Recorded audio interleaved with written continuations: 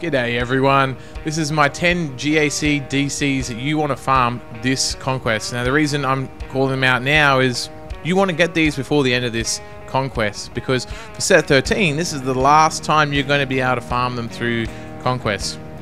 So this this guide, this video is intended to help you give you some um, measurable targets or some things to work on that will really help you succeed in GAC in both 5v5 and 3v3. The beauty of this Datacron set, though, is that most of it is actually on the level 3 and the level 6s. Yes, there's some very amazing, powerful characters on the level 9. Yes, they can always be a problem to get with RNG. However, you can still go really far with just some of these Datacrons that I've got here. Don't have to get all the 10 of them if that's not what you want to do, but this will at least guide you and tell you what the best Datacrons are, or the top 10 are and you can decide how much you want to work towards getting them and hopefully this will help you. Please guys i am getting started here in youtube so i am rather new. Please like and subscribe and make a comment down below. Tell me did you like this? Did it help you?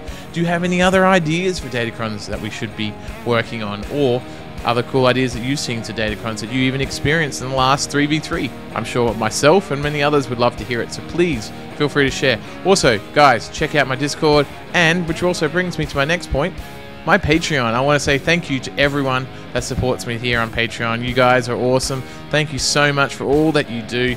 Guys, if you want to be um, getting information very, very early on as I progress in GAC, as my big brains progress in GAC, you get stuck, you want some help, and from, from really, really good GAC players, this is your opportunity to be part of my Patreon team, uh, and where you'll be able to get access to the big big brains team that often help me produce a lot of this content and help me give me a real strong edge in fighting in GAC at the top, or the highest levels. So go check out the Patreon page there. The link's there. Go check it out. It's also in the description.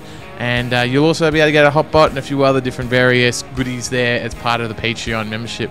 Uh, but again, thank you so much for these awesome Patreon supporters. Now let's get cracking into the Datacrons and what we're going to be able to do with them.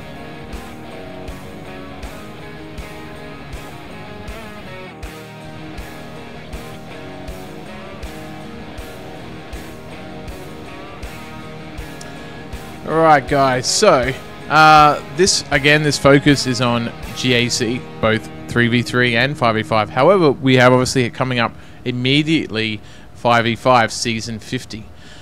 Uh, so I'm going to go over just some of the, the best Datacrons that you're going to need, the top 10. Uh, and then I'm going to go over some of the shopping list items. Just, you know, the things that you want to get just to fill out the rest of your Datacrons with all the match you might have. Alright, the first one, guys. First one. Absolute first one. It cannot be understated how good this is. But it is obviously reliant on you having her. Bo-Katan Mandalore. This Datacron is absolutely bonkers, guys. Bonkers. Basically, can just run right through a Lord Vader team. Lord Vader on defense is is, is a non non issue now with her. Uh, you just run through it. You don't even need to think about it. Basically, a basic can can kill anyone with no protection, uh, and she strips that protection on uh, on one random unit. Now go have a read of it. Both good and bad on defense and offense. Uh, I mean, certain teams is not going to work as well. You're going to have some really good counters to it, of course, but it's not.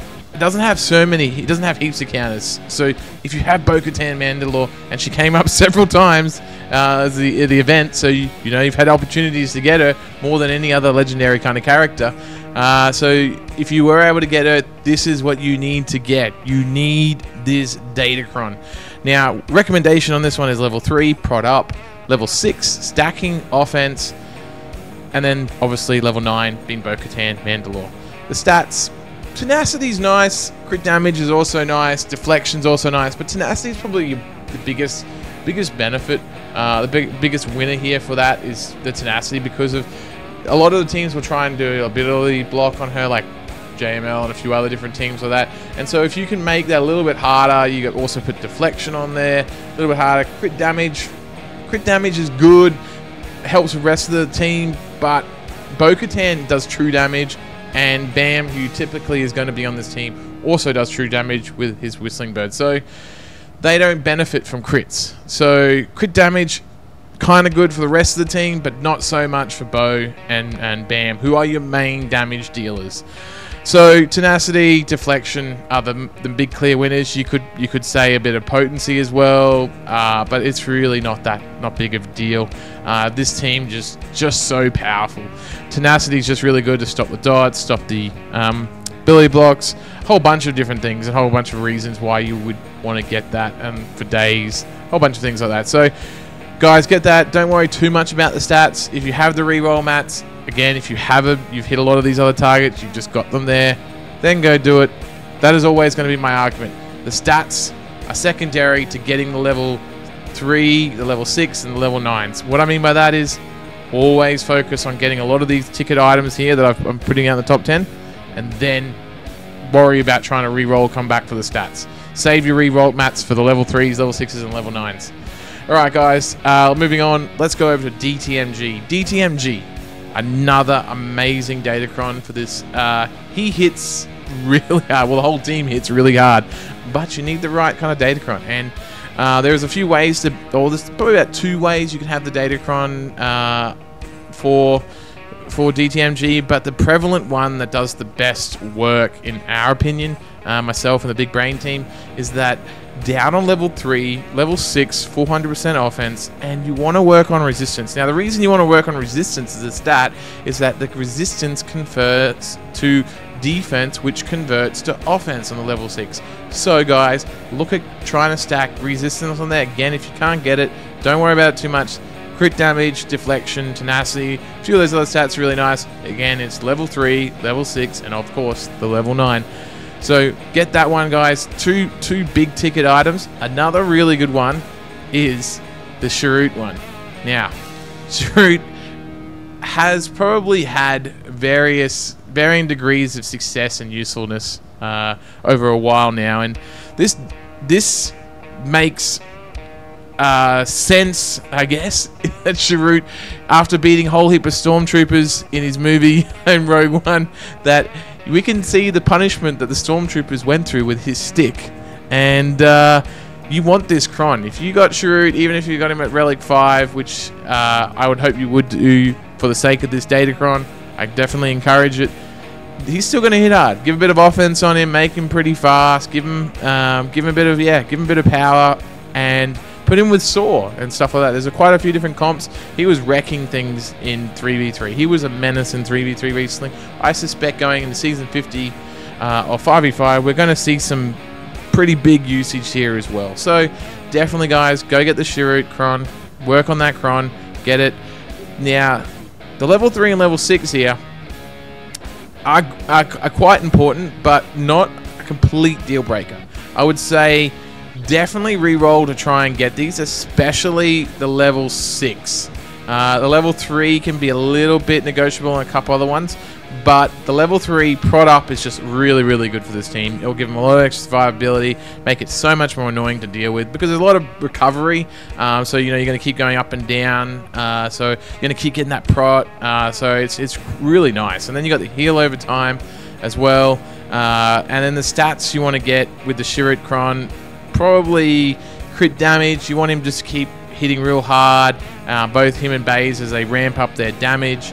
Uh, and basically, it's the rise of Chase. If anyone's been playing game this for long enough, you'll know about the Chase team back in the day. Well, it's back, guys, and so you want to get a bit of crit damage here. Tenacity is always good, especially if you're going to put them there. There with Saw having a good amount of tenacity, because is your primary counter to this team. And so if you can make it harder for Doubt to land, then guys, it actually is going to be quite nice indeed. So try to get uh, crit damage first, I would say. But if you've got a bit of tenacity on there, don't worry about it too much. A bit of deflection is also good because you know, Aphra and the the droids they could miss, and that could be a key miss, and then they, the team all recovers. Uh, they get health back and everything like that, and they start just hitting you really, really hard. And then Aphra, is a, it's a big mess for Aphra to clean up. Uh, if she can even get through. So, again, get this Cron. It's part of the top three of the top 10 definitely recommend getting it, guys. Now, another really, really scary one. Moving on. Inquisitors. The Inquisitors, uh, they're going to be scary. They are going to be scary in this 5v5. What you want for them is really you want the doubt. the doubt is going to make it so hard to deal with them. You can't. It brings. It basically rules out Adrad. Adrad cannot deal with the Inquisitors uh, like this. And then you want to multiply that pain and the difficulty of of um, the Inquisitors with the level six 400% offense. So the one that converts defense into offense. You guys want the, these two. Doesn't matter what the level nine is. It doesn't matter. Just get those level that level three and level six, and then look at the stats. Try to work on the stats again. As I said with DTMG, resistance converts to the offense or to the defense, and then to the offense. So guys, work on getting that Datacron, and it is going to help you. Well, it's going to make that team a monster on defense. It really is. It really is. And you can add a bit of crit damage. If you had a bit of crit damage on the Datacron, that's also going to serve you well. Deflection as well. Again, not not uh, massively going to be a big difference. The resistance when it converts, when you just find out how hard they all just hit for their first time because of that resistance thrown in there, it is it is a monster. It's going to be a monster to deal with, guys. So work on that, Cron. Definitely. Uh, next one, moving on, is Iden. Iden, Iden, Iden's kind of come in and out. I really liked Iden. I put the relics on Iden. Um, she's got a really amazing ship and the this the whole team is just a really good team. I've, I've used the team uh, Iden. I've, I've for a long time I've loved the Iden team, and I love seeing it getting more more more use, and that it can't be just easily wampered anymore. Um, but I also did have fun feeding Iden to Wampa as well. I had my share of fun in that too.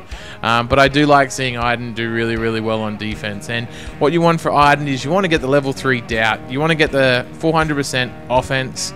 And you want to get uh, the level 9 Shore. It's really, I mean, if you didn't get the Shore one, it's not it's not a deal breaker. It's really getting that level 3 doubt the, the 400% uh, offense. Those are your two big ticket items you want to get. Shore is probably like the icing on the cake.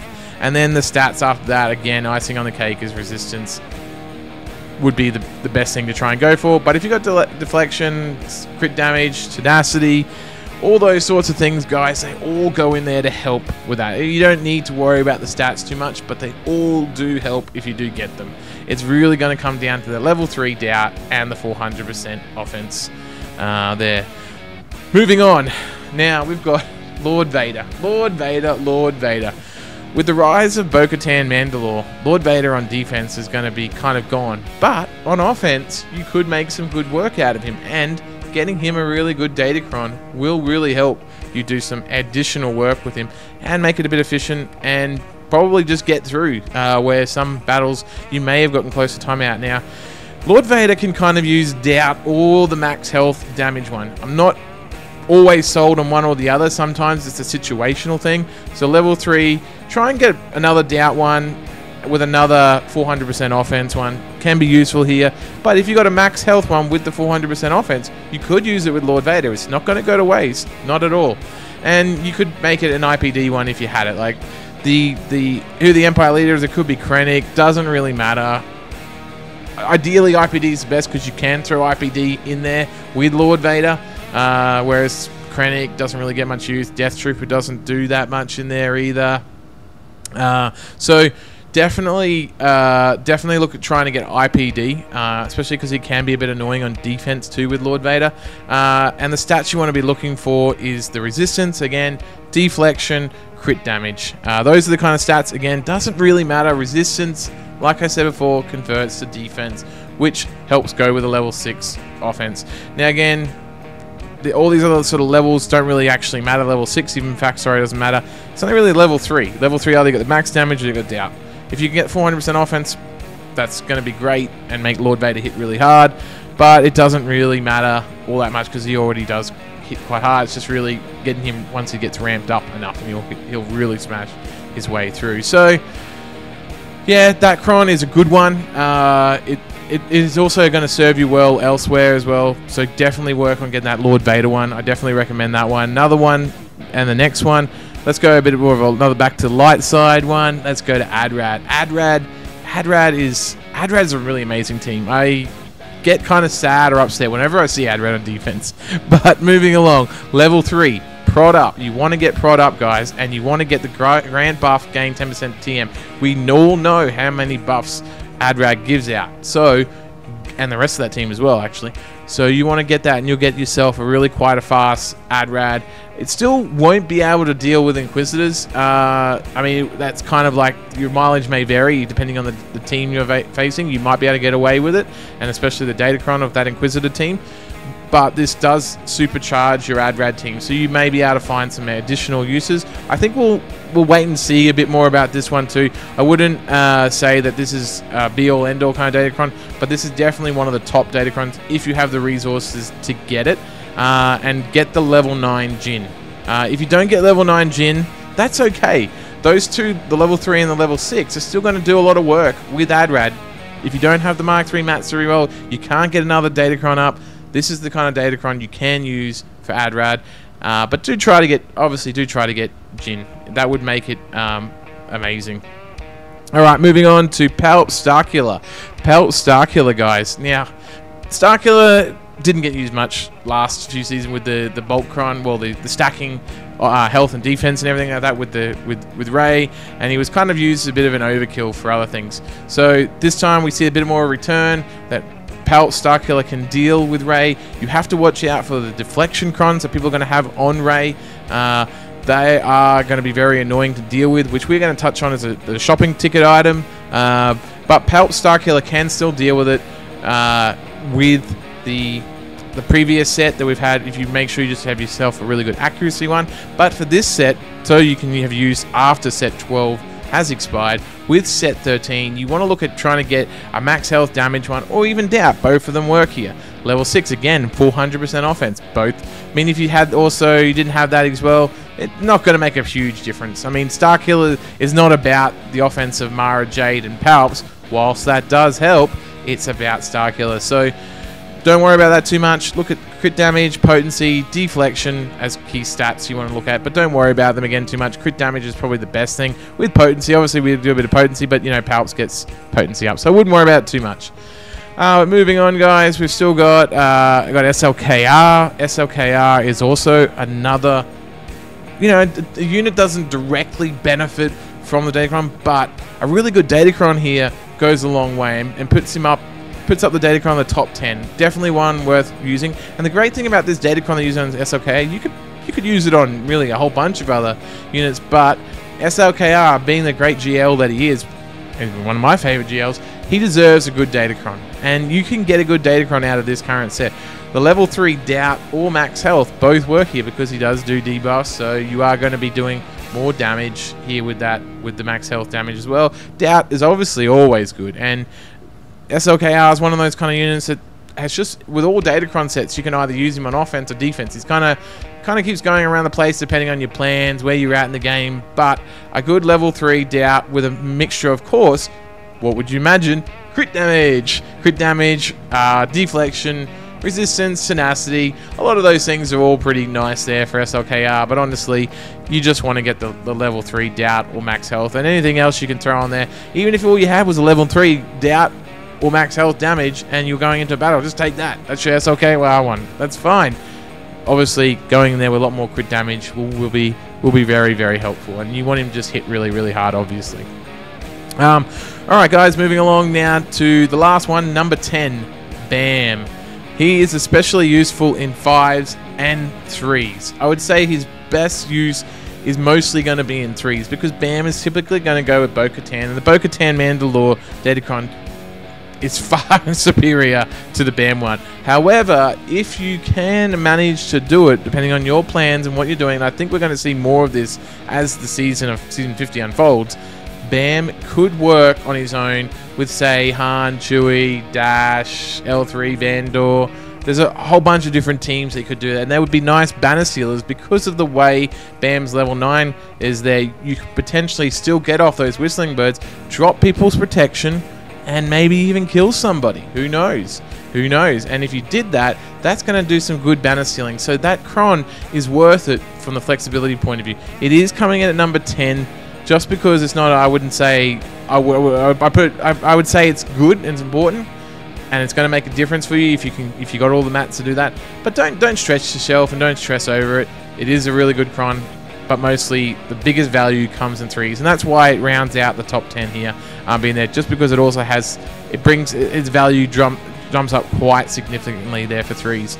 So, guys, that is my uh, top top 10 there. Uh, one thing I also want to keep going on about is the shopping list items. So that's only 10 Datacrons. You've obviously got a fair few more that you can store in your inventory. What you want to work on after you've got these top 10 is stuff like Diacrons and the protection ups.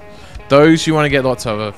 Basically, Doubt against all light side. You can use it with Trench, you can use it with um, just, you know, Imperial Troopers. Uh, you could use it with some sort of Vader team.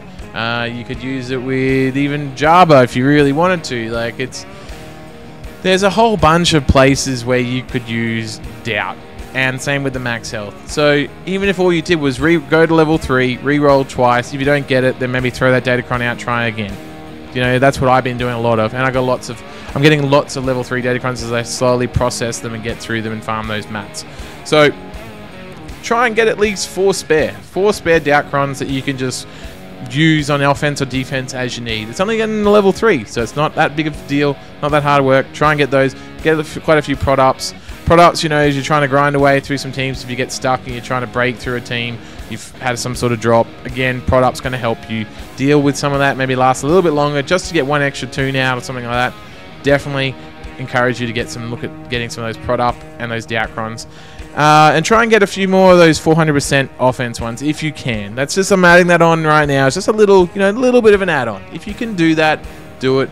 But don't stress about it, guys. Look, this is a great Datacron set.